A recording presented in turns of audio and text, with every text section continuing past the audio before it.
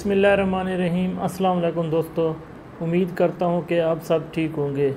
इस वीडियो में शुगर के बारे में कुछ इन्फॉर्मेशन बताना चाहता हूँ कि शुगर की मेडिसिन कब खानी चाहिए और शुगर से हम कैसे बच सकते हैं।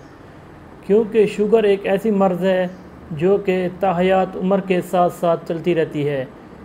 क्योंकि शुगर को कंट्रोल अगर ना किया जाए तो हमारे जिसम में मुख्तलिफ़ अज़ा जो डाइजेस्टिव सिस्टम में लगे होते हैं, ये इसको रफ्ता रफ्ता धीरे धीरे ख़राब होने लग जाते हैं। क्योंकि शुगर एक ऐसी मर्ज़ है जो हमारे पूरे जिस्म को ही सपोर्ट कर रही होती है।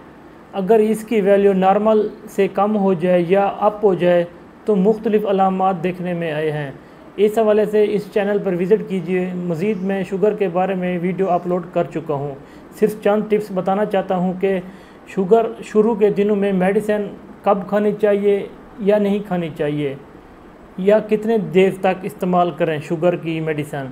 क्योंकि दोस्तों, शुरू के दिनों में मेडिसिन, मेरा यही मशवरा है कि शुरू के दिनों में मेडिसिन इस्तेमाल ना करें। अगर रिपोर्ट के मुताबिक अगर शुगर की वैल्यू हाई हो तो अगर शुगर की नॉर्मल वैल्यू होगी तो शुगर की मेडिसिन नहीं इस्तेमाल करनी चाहिए।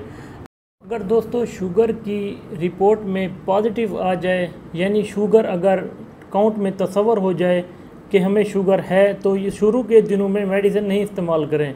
क्योंकि शुरुआत के दिनों में इस खून में, ब्लड में ग्लूकोज की मकदार ज़्यादा हो जाती है, जिसकी वजह से ब्लड टेस्ट के थ्रू पॉजिटिव आ जाता है। लेकिन आपको लिहाजा ये मशवरा मैं देना चाहता हूँ, क्योंकि सुबह के टाइम, मॉर्निंग टाइम वॉक करें और इसके साथ साथ मीठा, स्वीट, यानी उसको परहेज़ किया जाए, ताकि कुछ दिन तक शुगर की जो ब्लड में ग्लूकोज की वैल्यू हाई है, वो लो हो सके।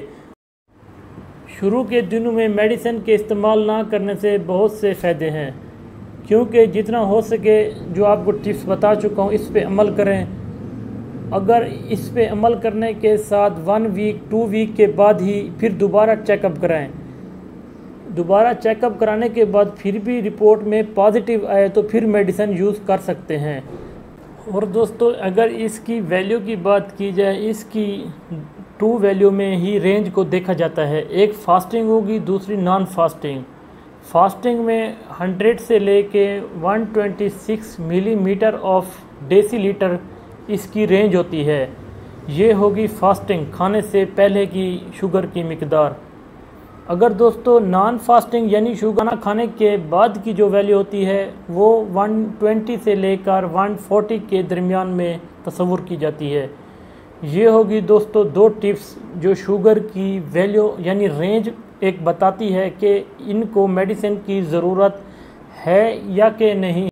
दोस्तों, इन दो वैल्यू के अलावा अगर इसकी 140 मिलीमीटर ऑफ़ डेसी लीटर की वैल्यू से हाई हो जाए, यानी 160 मिलीमीटर ऑफ़ डेसी लीटर और इसके अलावा 180 हो जाए 200 हो जाए, फिर उन मरीज़ों को मेडिसन ज़रूर लेनी चाहिए, क्योंकि उनको वेट नहीं करना चाहिए। वाक के अलावा वाक तो वैसे भी कर सकता है शुगर का पेशेंट लेकिन इसको जैसे मरीज़ को वेट नहीं करना चाहिए। पहले दिन से जैसे ही चेकअप कराए शुगर की वैल्यू देखने में दो eighty millimetre of decilitre आए तो फिर उन्हें मेडिसिन ज़रूर लेनी चाहिए।